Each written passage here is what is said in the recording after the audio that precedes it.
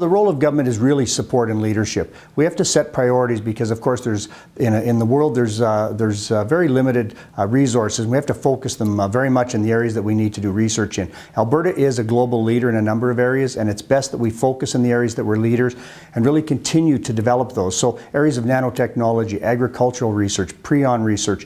Uh, we're clearly uh, world leaders, and we need to maintain that focus and continue to to focus our attention and our money in those areas. So Alberta Innovates will continue to do that and in partnership with our, uh, with our post-secondary system as well.